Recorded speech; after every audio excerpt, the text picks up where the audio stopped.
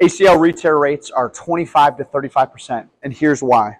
Because we spend too much time focusing on single leg balance, stability, proprioceptive exercises, instead of actually progressively overloading our single leg balance and stability. The initial progression is we go to two legs too early. This builds bad habits of unloading our surgical side and loading our good leg. Instead of focusing on exercises where we can bias our one leg, our surgical leg more and build good loading habits. Your PT is a little bit busy, so you're focused on getting through the exercises, even if it means loading your hip more than your knee or performing really bad form, instead of actually being coached about what it means to load your knee over your hip and execute the exercises with the intended form.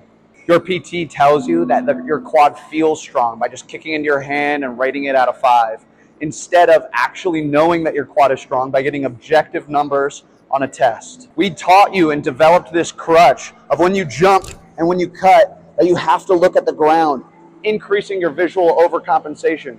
Instead, we need to learn how to jump and cut with our eyes up and engaged in our external environment while processing multiple factors just like we will have to in a game. I'm sure there's more, but that's all I can think of right now.